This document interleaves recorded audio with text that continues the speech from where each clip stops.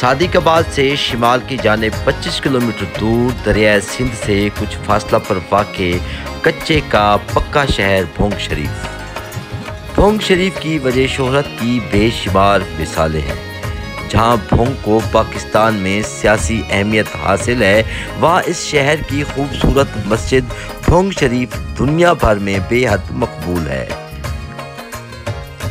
इस मस्जिद को पाकिस्तान की 10 खूबसूरत मस्जिदों में शुमार किया जाता है।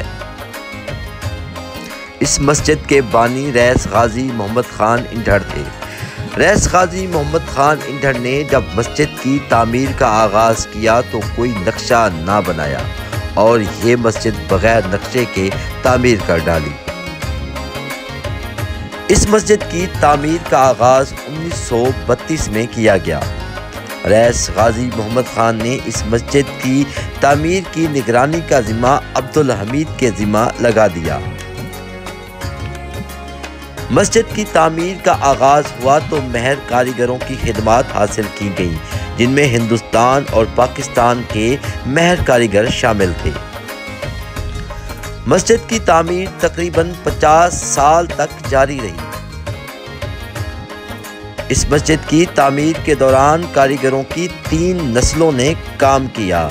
मस्जिद की तामीर के लिए संगे मरमर, संगे खारा, सरमई, संगे स्याह, ऑस्ट्रेलिया, इटली और हंगरी से मंगवाया गया। संदल की लकड़ी मस्जिद में लगाई गई।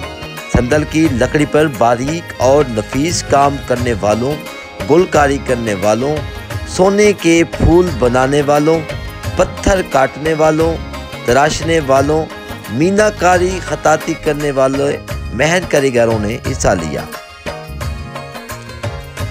मस्जिद के मरकजी महराब की तजीन और ऐश में खालिश सोना, चांदी और कीमती पत्थरों से काम किया गया, जिसने मस्जिद की खूबसूरती में चार चाँद लगा दिए। जबकि संदल की लकड़ी पर नहायत नफीस और दीदा जेब काम देखने वालों को हैरत जदा कर देता है।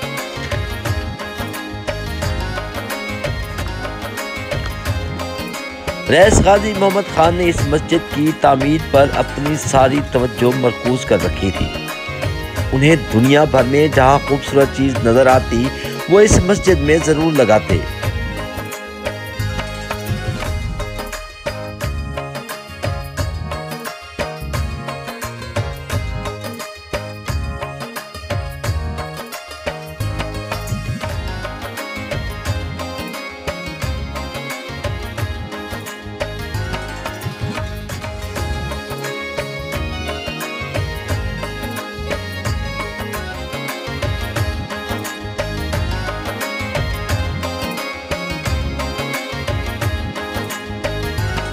मस्जिद का दाखिली दरवाज़ा मशहद में हज़रत इमाम रज़ा के मज़ार जैसा बनाया गया है।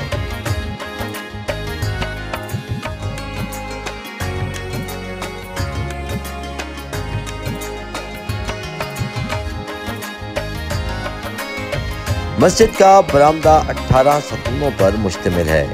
इस सतून पर लगे कुदरती रंग कारीगरों की मेहनत का मुँह बोलता सबूत है। ये सतून आठ फुट बुलंद है। इस मस्जिद में 500 नमाजी आराम से एक वक्त में नमाज़ अदा कर सकते हैं। इस मस्जिद की खूबसूरती पर 2004 में हुकूमत पाकिस्तान ने भोंग मस्जिद की तस्वीर वाला डाक टिकट भी जारी किया। जबकि उन्नीस सौ छियासी में इस मस्जिद को आगा खान अवार्ड से भी नवाजा गया। पाकिस्तान के वज़ीर अजम मियाँ नवाज़ शरीफ, मोहतरमा बेनज़ीर भुट्टो, इमरान खान, सदर परवेज मुशरफ आसिफ अली जरदारी, बिलावल भुट्टो समेत दुनिया भर की अहम शख्सियात इस मस्जिद को देखने का शर्फ हासिल कर चुकी हैं। इस मस्जिद की तामीर का काम 1932 से शुरू हुआ और आज तक इस मस्जिद की तामीर, तजीन और का काम जारी है। ये पाकिस्तान की वैध मस्जिद है जिसकी तामीराती, तजीन और का काम सारा साल जारी रहता है।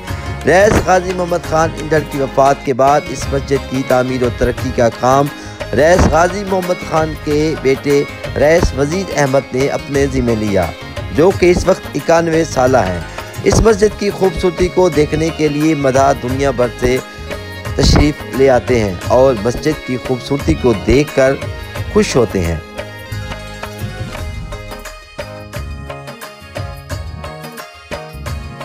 कैमरा टीम के साथ अब्दुल गफ़ार बहार डिस्कवर पाकिस्तान रहीम खान।